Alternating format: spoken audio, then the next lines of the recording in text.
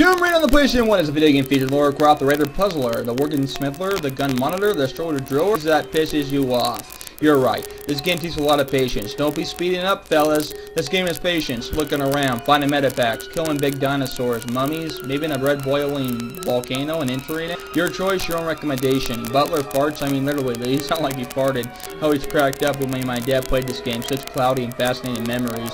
There's scary moments, pits that makes your bones crack. I mean, when you hit the football, like, is that when Laura actually feels like I'm in Laura's world and I'm getting my ass motion-wise into a dipshit pattern and I'm getting feeling the pain and that big old struggling.